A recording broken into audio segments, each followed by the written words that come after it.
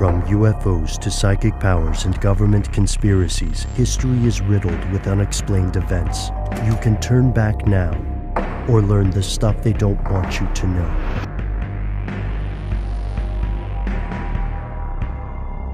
Here are the facts. The Democratic People's Republic of Korea, often called North Korea, is one of the world's most misunderstood countries. It's also, if reports are to be believed, home to an obscene number of human rights abuses, including an estimated 200,000 citizens in labor camps, often for crimes their relatives committed. The country has been hit by bouts of famine like the arduous march of the mid 1990s when hundreds of thousands, possibly millions, of people died. The government negotiates through threats, most notably during talks over its nuclear program. The Western media often describes the DPRK as a criminal empire implicated in kidnappings, drugs, counterfeiting, and more. But if North Korea really is as bad as the media would have you think, then why haven't world governments intervened? Here's where it gets crazy.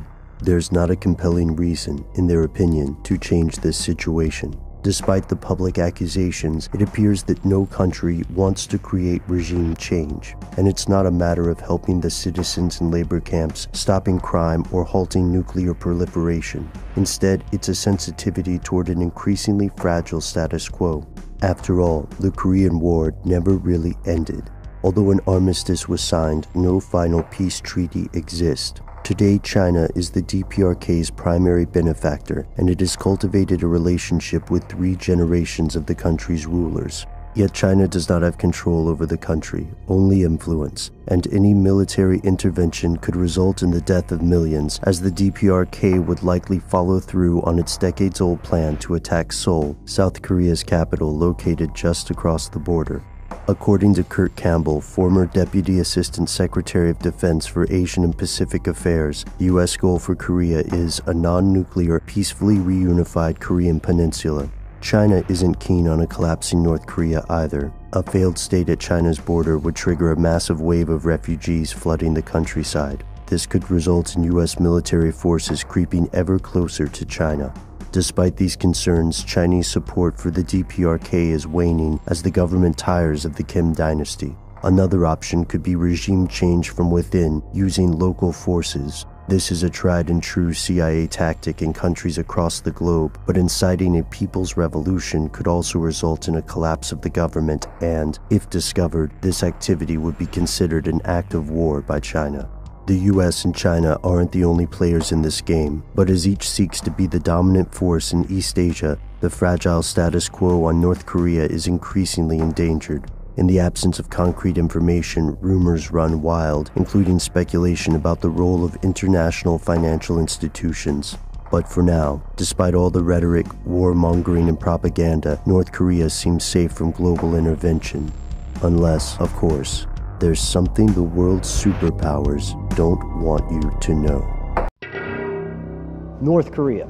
Uh, one of the street nicknames is the Hermit Kingdom. The official United Nations name is the Democratic People's Republic of Korea, or the DPRK, not to be confused with the Republic of Korea, which we all usually call South Korea. Now, you've probably heard of this place before. Uh, you've heard about the interview most recently, the film with uh, James Franco and Seth Rogen. I'm sure that you have seen on CNN, Fox, or MSNBC uh, some reports of how close North Korea is to maybe detonating a bomb, right?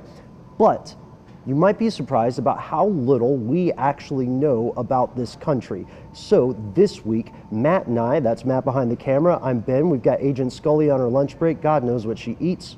We decided to look at North Korea, at the secrets behind it, at the facts, at the fiction. And we're going to have a brand new episode about that coming out this week. But before we do, we wanted to catch you up on several things that you might not know about this country. Number one, North Korea has a caste system. Now, I know what you're saying. That's kind of crazy because we all think of the DPRK as a communist nation. And it started that way, but uh, how many communist nations have a patrilineal line of descent based on absolute godlike rulers? Just one, North Korea. And there's a caste system that is based upon people's position in society before what we call the Korean War in the United States. It's divided into roughly three categories there's the loyal category, the wavering category, and then, of course, the hostile category. Now, what's surprising here is that uh, 72% of the population qualifies under wavering or hostile. So most people are under suspicion and therefore eligible for a labor camp. Which brings us to number two labor camps. Now, we've heard the stories from defectors who have made it to South Korea or to another nation that will immediately ship them back to the DPRK. And these reports, uh, whether they are propaganda or whether they're exaggerated or whether they're absolutely true, give us some unsettling news. Uh, right now, current estimates give us about 200,000 North Korean citizens in labor camps. And that doesn't really sound like uh, that much, especially if we're looking at absolute numbers. I mean, millions of people are imprisoned in the United States, right?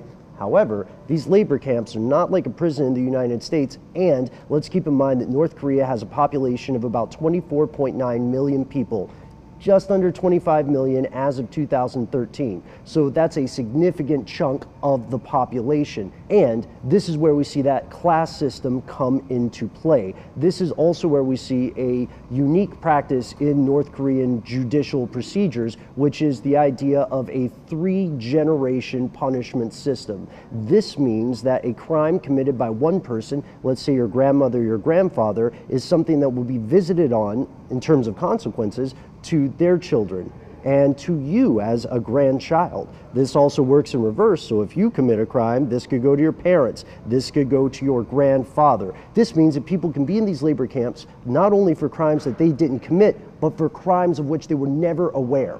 Of course, international human rights groups call these crimes against humanity and ask the United Nations and other world powers why they're not doing more to stop this practice.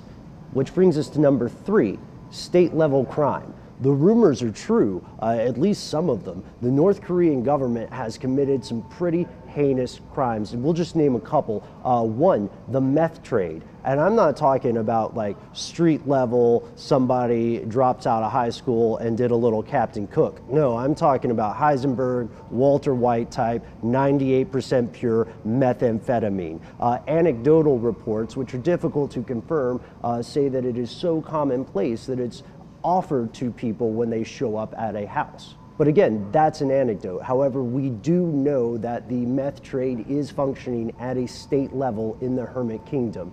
We also know that counterfeiting was big business for a while. Some of you may remember the story of the so called supernote. These were $100 US bills that were of such a high quality that one of the ways to distinguish them was that they looked better than the real thing. Now, of course, North Korea has, you know, denied these allegations, but they're the only country that has denied these allegations. It's probably the nicest way to say it.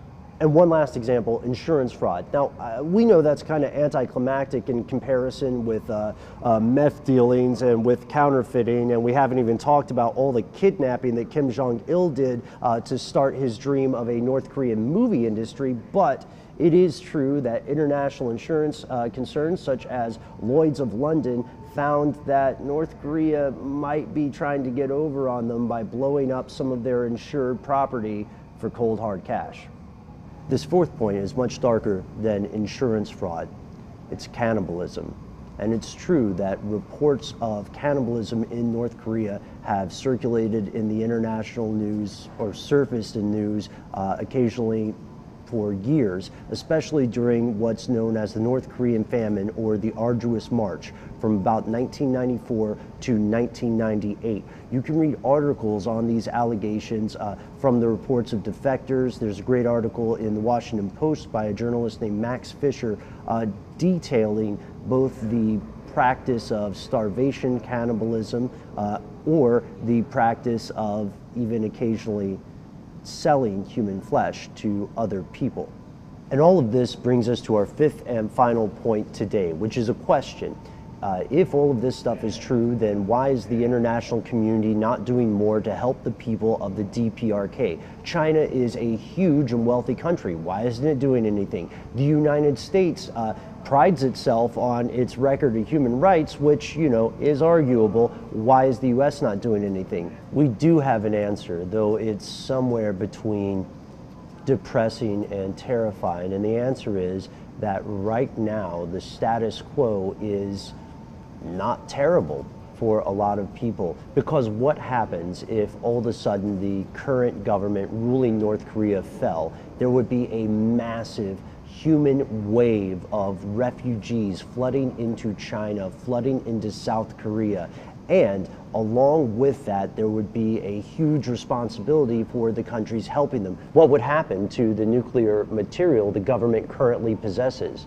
What happens here is that we enter into this geopolitical cost benefit calculation, and from the actions of the other countries adjacent to North Korea or the global superpowers of the world, apparently they said that it's best to leave it as it is for now.